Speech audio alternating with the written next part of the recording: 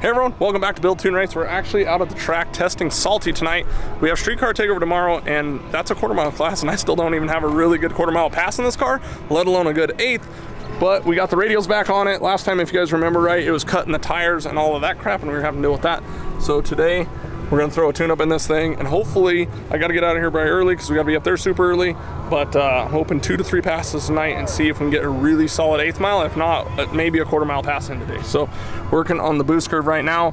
Kind of gonna be a little bit softer than what was even on the no prep, but I still have the separation tune up in the shocks, hoping that it goes down. If not, we'll come back around, we'll put the weight transfer setup back in the shocks that we know goes down the no prep like you guys have seen in the last few videos and uh, hopefully we can make some steam here and maybe even chase Salty's PB, but one step at a time. Another thing we're gonna do is we're gonna shift this thing above 7,000 this time. Talking to Dan at Circle D, he says, why the converter's not doing what you think it's supposed to be doing, because it's like not hardly dropping at all in the shifts, because you're not revving it high enough. I told him we're gonna rev to 72, 7400, so probably bump this up to 72 and we will let it ride out there. So this will be the highest the car's ever revved as well. Just loaded the tune up in it. We're gonna do a two-step check, make sure it comes up clean on boost and all that. Every once in a while when we switch from pump to race fuel, it acts a little weird, so we're gonna go ahead and do that, clear everything out, and we should be ready for our first pass.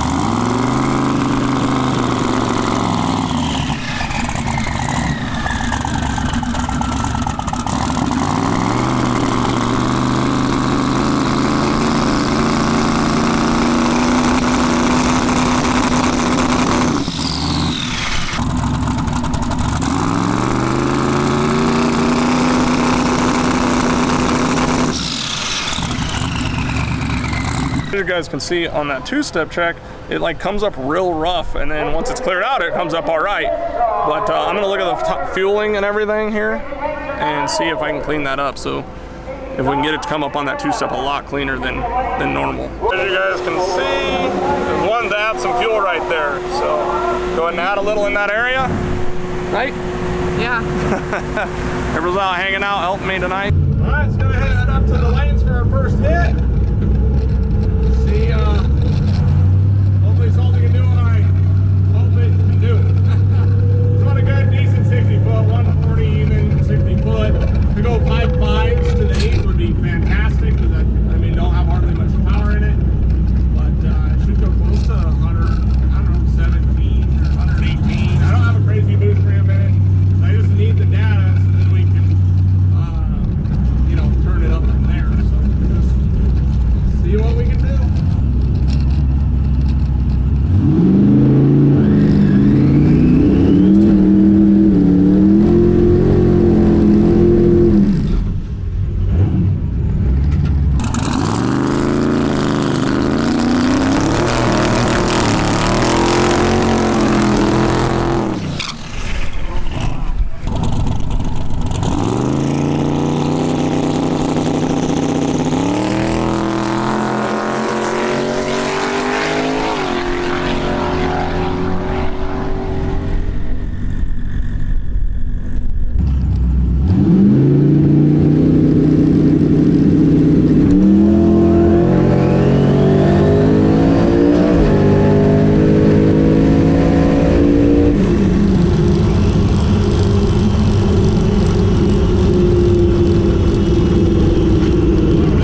Didn't even click in the third yet. felt good though. Not bad at all. I don't know what it ran, but it felt good. Could have been fairly quick. Woo! Know, guys. I'm pretty happy with it. See what the slip says, but the way the car acted, I'm pretty happy. We'll see what the slip says, but hey, that's what I wanted. That's all that I wanted out of tonight. I just needed something like that. We got it. Hopefully it was semi-quick, but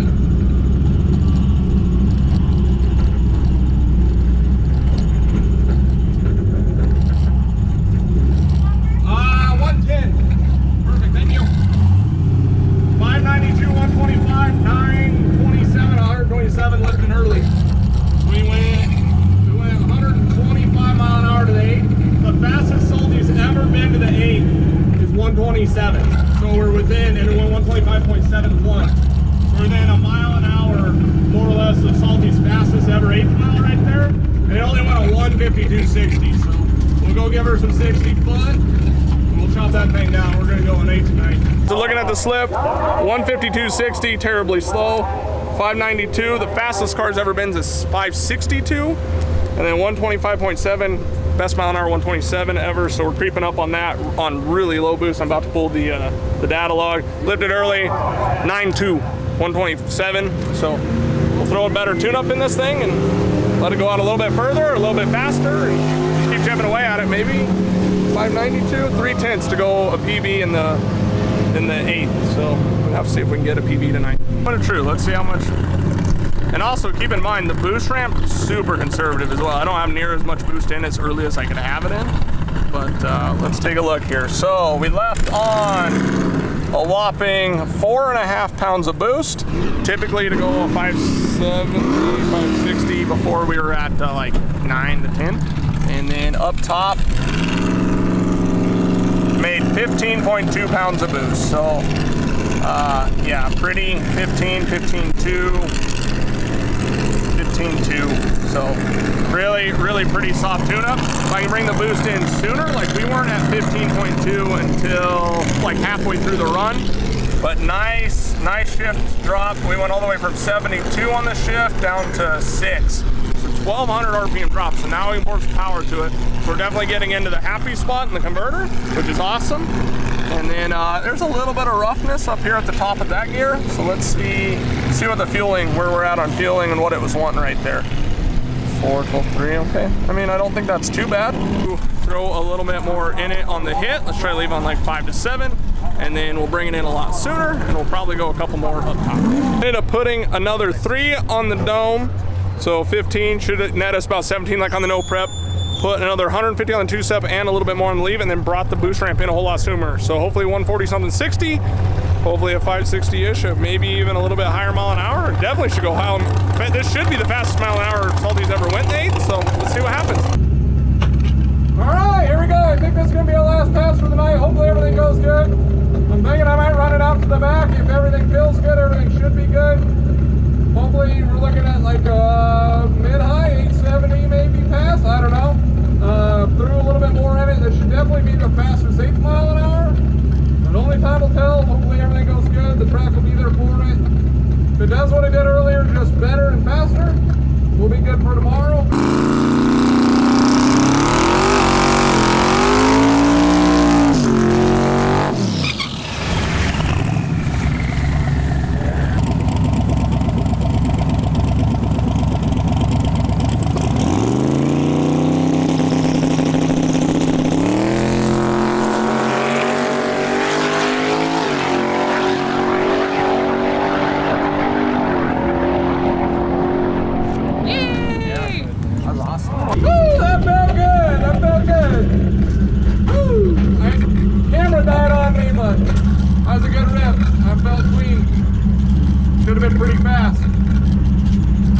Fastest mile an hour in the eighth and 874 161 first real full quarter mile pass salty's ever made because it's never been geared to go off the back other than when we were going real slow i guess initially. So uh, like 10 o's and maybe nines or whatever. So i'll take that. I think that's perfect go into tomorrow. Chip away at the eighth tomorrow up there. Bandimere's track should be great. We'll throw more in it up top. And i mean 130 mile an hour we should be able to go 540s on that probably. Mile an hour wise we just got to chip away on that short time. So we're uh, get the chute packed and head to Denver. We're gonna download the log. We'll look over everything real quick, see how much boost that was. But assume that was right around 17 pounds, kind of like what we were at on the no prep down in Texas. Uh, but everything came in a little bit sooner. We'll see how much it left on to go the 140, 146, 60 foot. Still really slow for the car, but uh, I'm, I'm curious. I'll get back, look at video and see like how much it's transferring, if it's even trying to pick the tire up, how well it's planning the tire, all that stuff. Weird. We have a really weird thing happening with the map right now. Like, I don't know what's up with this weird map signal. Um, oh, fuel pressure is going all over the place. Look at that. 69, 68, 69, 68. So I gotta figure out what in the world that is. That is not a very clean RPM out there. I don't like that really at all. So I need to figure out what's going on with fuel pressure and uh, stuff there. So super weird, some really weird stuff going on there, but either way it left on only 4.8 pounds of boost and it made a total of awesome pass, man. Thanks, buddy.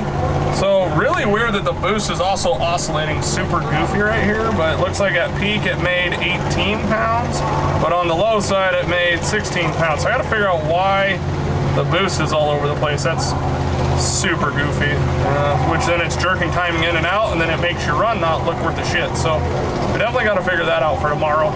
But otherwise, not too freaking bad. But again, not perfect, so we got to figure some stuff out and see what's going on with a few things, it looks like. Good morning. So we are up here in line at Bandimere. It's 7.02. They're stacking cars in.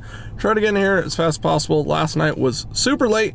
Salty went a PB in the quarter mile, first real ever quarter mile pass that I had set up on the car other than like I said earlier.